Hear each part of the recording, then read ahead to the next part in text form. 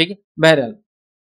नाम के ताल्लुक से हम देखते हैं, आपका नाम जो है बरा बिन हारिस था जैसा कि हम जानते हैं, नबी अकरम सल्लल्लाहु की और भी अजवाज का नाम को बदल के चेंज कर दिया था और अल्लाह के रसूल सल्लल्लाहु अलैहि वसल्लम ने बरा से बदल के आपका नाम जुवेरिया रख दिया था। तो इससे पता चला, हम लोगों के नाम बदल सकते हैं, अगर नाम गलत हो, माने गलत हो, या उसके अंदर इस तरह की कोई बात हो जो शरण दुरुस्त ना हो तो ऐसे नामों को बदला जा सकता है इसमें, इंशाल्लाह अज़ीज़। कोहरनी लड़कों के लिए भी और लड़कियों के लिए भी हो सकता है। निकाह से पहले भी और निकाह के बाद भी हो सकता है, ज़रूरत पड़ने पर।